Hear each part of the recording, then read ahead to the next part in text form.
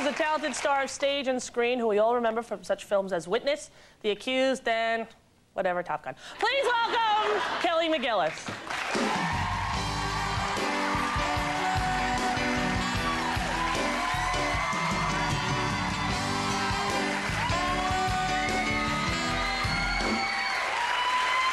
Hi. Hi. How are you? Good. I loved you in Witness. Thank you. What a great movie that was. Thanks. I really, scene when they lift the barn up was so beautifully shot. Yeah, it's really, they did it in one day. They it's did. really absolutely amazing how everybody in the community just pitches in. It's really wonderful. And you're a New Yorker, right? Well, no, actually, I was born in California, lived here for 11 years, have been living in Florida for five years, and now I am in Washington, D.C. Wow, you go all around. Yeah, um, well, and we sailed for two years on a boat. We sailed across the Atlantic with our two little kids. Are you kidding me? No. I'm so jealous of you. Why? Well, that's a great thing to do. A lot of people wouldn't go take two years off to do that, but that's a. Well, it was fun. Um, unfortunately, my youngest daughter will probably never remember it, and I don't think the eldest one actually will either. But we, um, the best thing we got to do was stop the boat in the mid-Atlantic and go swimming. And so the four-year-old thought, this is the most fun I've had in weeks being at sea. And I put a life jacket on her and a lifeline and threw her off the back of the boat. And she was playing and playing, and the water in mid-Atlantic is so clear. Really? You can see about 45 feet. And the minute you stop a boat, it's the only thing that has shadow for millions of miles around. So all these fish come under the boat, and you can see them all swimming around. And she's swimming around, and I'm thinking Jaws the whole time. I'm Yeah. thinking, if there are little fish, there are big fish somewhere close by. So I said, Kelsey, you have to get out of the water now. She says, No, this is the most fun I've had in weeks. I said, You got to get out now. And I just yanked her up by the lifeline, and she's dangling, screaming, No, I want to go back in. But, um, but it was fun. They had a good time because we got to, what was that? I have no idea. It's live TV today, Kelly. Wow. We're totally. The water spilt. We don't know what we're doing. Now, um, did you did you go to live with the Amish people during Witness? Did you figure? Did you? I mean, researching? Yeah, I, um, I was down there for a month and I had to learn how to talk like they do. And, um, and I got to live with an Amish widow and her seven kids. It was a real experience for me being a city kid, living in cities all my life. Um, I never really got to work on a farm before. It was cute. I was left alone um, one day while Mary went to go sew for the hospital with a 13 year old boy. And he's kind of looking around and he looks really sheepishly at me. He says, You want to go see the rabbit hutch? And I said, Well, okay. So he puts two rabbits together and they start doing what rabbits do.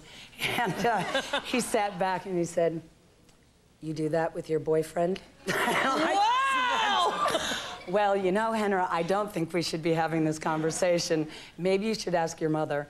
And um, after a while, he kind of takes the rabbits apart and he's sitting there and he just stares at me. They have a very open way of looking at you. Very, they have no guise whatsoever. He just looks at me and says, I hear girls go into heat once a month. Is that true? and I said, I don't think we should have this conversation at all. I'm going to go find something else to do. you see, that's why kids need to watch TV. well, I Because guess. if he had been watching TV, he'd know all about the Tampax commercial. He wouldn't have to ask you that, you know? I think that's what we need to do. More TV for our kids. Now, you're doing uh, Morning Becomes Electra, which is a play that I love.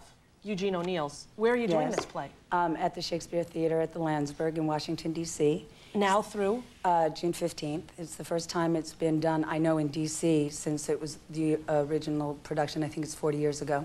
And this is a much condensed version. It's only three and a half hours as opposed to six and a half hours. Right. That's very exhausting for the actors, I, I assume. Um, I actually find the play very energizing, to tell you the truth. I don't know what it is about my sick personality to get energy from killing off my entire family, but um, I actually find it not so taxing. Yeah. You don't seem sick at all. You seem very normal. I think you're the most normal guest we've had. Well, I, oh, but I have a present for you. You do? I do. First off, um, my husband will kill me if I don't give you a Kelly's Caribbean Bar and Grill T-shirt from Key West. There you Is go. Is this his bar? This is our bar. We own a bar and restaurant in Key West. You own a bar and a restaurant and you went sailing for two years? Yeah, and um, we have Kelly, a we could definitely brewery. be friends, you and See, me. we I don't brew know. our own beer. You brew your own save the? Ales. There you go. Give me a high So- five on the brewing the old beer thing, which I'm totally into. All right. And now, my special gift to you. I know you're wild about a guy named Tom, and um, I've had this since I made the film. I somehow found this in my luggage. I don't know how. But this is uh, Tom Cruise's hat from the movie. It says Tom Cruise, and it says Maverick in it. But you have to swear to me Yeah. that Swear, I'll swear anything. What?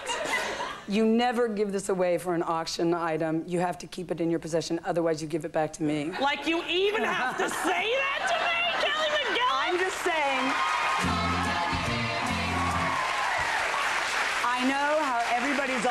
For items at celebrity auctions, mm-hmm. and so there you go. But that's a gift from Fred and I to you. Thank you, Kelly. You're welcome. Now, you did a little film with my Tommy. You have to smell it, though. That's the best thing. I was gonna, but I thought people would think I was sick.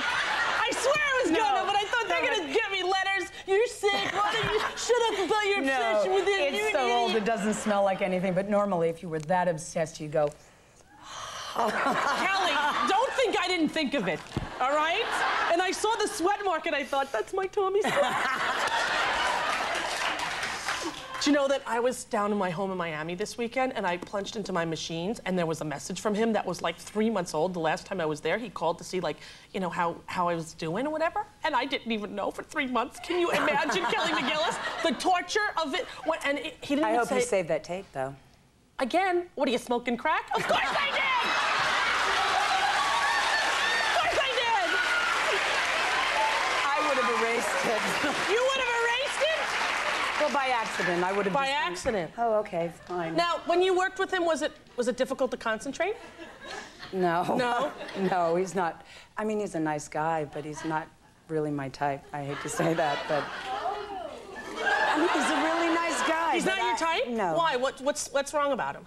Nothing's wrong with him. I think he's a gorgeous guy. No, I mean just as opposed to your type standards. What Well, is he deficient in any area? no.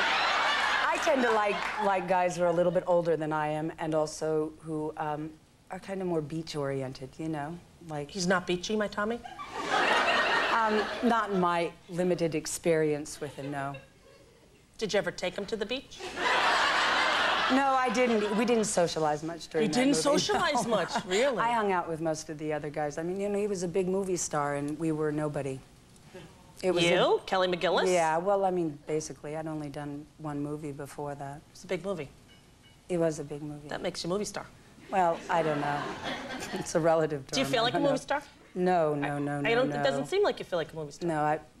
I Which is a mostly good feel thing. like a mom. I mean, yeah, that's, that's a mostly what I am. Yeah. And you got two girls. I have two little Kelsey girls. Kelsey and what's the other baby? Sonora. Sonora. And how old are they now? Uh, Kelsey will be seven next week, and Sonora just turned four. And are they going to get to come see you perform in the play? Well, yeah, they usually come see all the plays that I'm in. Sonora, I don't know though. This one's kind of gruesome because I have to kill everybody. Yeah. And they've, they've only seen me do comedies there and not really have to kill people. I don't do it physically, but you know, I am responsible for it. And I don't know if I want them to think that mommy might do them in one night. That's right. So Oh, maybe they shouldn't Mommy's see. mad. Stay away. But all of you people should. It's in Washington, D.C. Morning becomes Electra, Eugene O'Neill's play. Kelly McGillis, you're a delight. oh, well, thank you very much. Very nice to meet you. Thank you for my hat. You're welcome. I hope you like it. I do. We'll be right back. My mom's a star winner after this.